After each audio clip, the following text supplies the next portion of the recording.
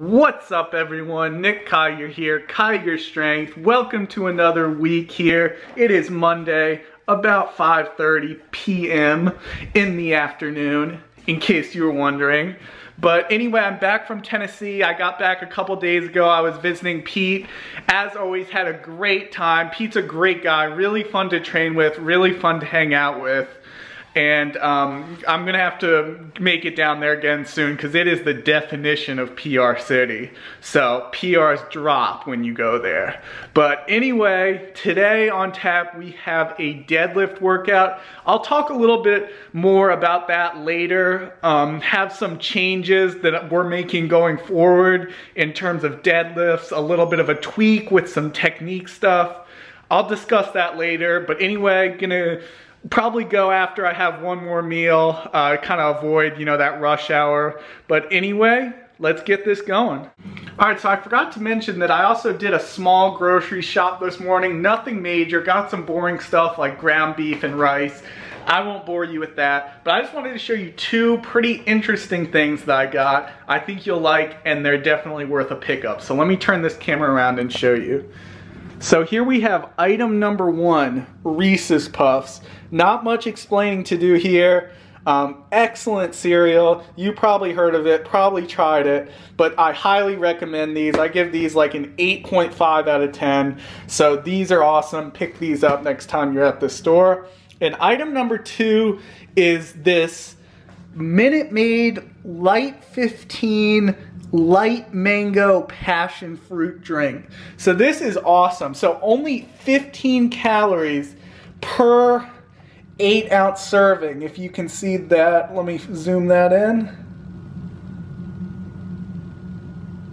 See that right there? But this is taste stuff tastes amazing. Tastes just like regular juice. So highly recommend you look for that definitely pick those two things up. You will not be disappointed, I guarantee it.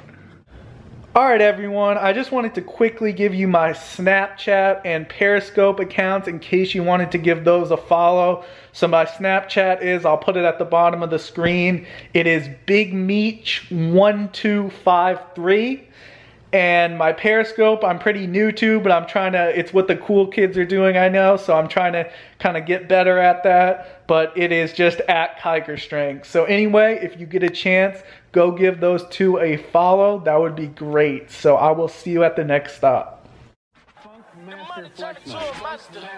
The money turn me noodles and pasta. The money turn me tuna a lobster. They wanna do me, I'ma like a monster. 4 a.m. The north of Philly. Riding around like these haters don't wanna kill me. It's a shame how they hate on me. You gotta feel me. I started out with a dollar and got a million. Like do it for the gram, ho. Do it for the gram, ho. All right, the thing about working out late is you gotta kind of stay caffeinated all day. So this is my second iced coffee of the day. So it is 6.30 p.m. right now. So you kind of gotta stay drunk on coffee from the time you wake up to the time you train. So all day, how I like it. But um, anyway, so this should be a good workout, guys.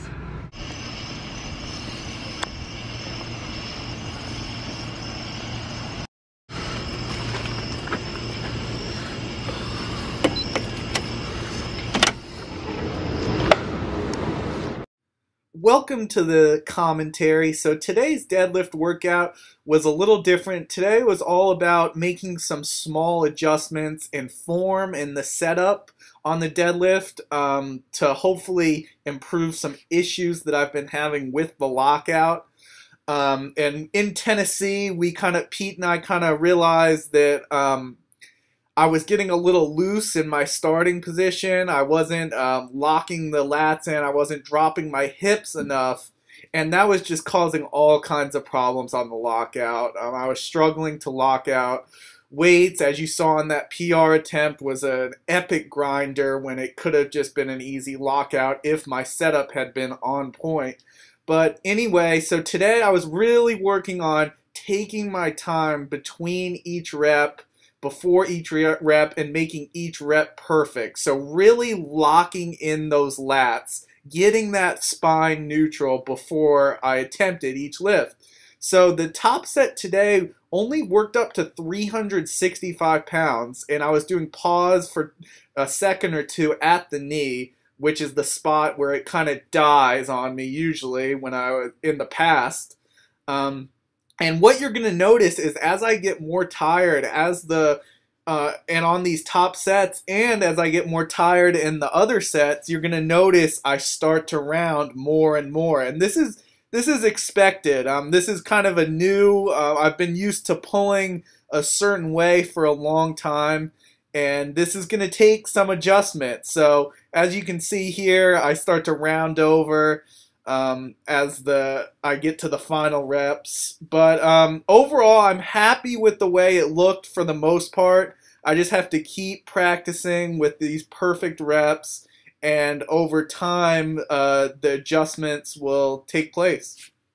And one other misconception about the deadlift that I hear all the time regarding the lockout is people are always saying, oh, my lockout's so weak, I need to train my lockout, this and that about my lockout. But no, that's not the case at all. Your setup's horrible. That is why your lockout's so bad. You put yourself at such a mechanical disadvantage by rounding over so much, by staying so loose at the beginning of the movement, that there's no physical way for you to lock the weights out.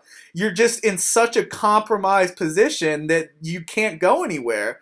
So, um, that's just one thing I hear all the time.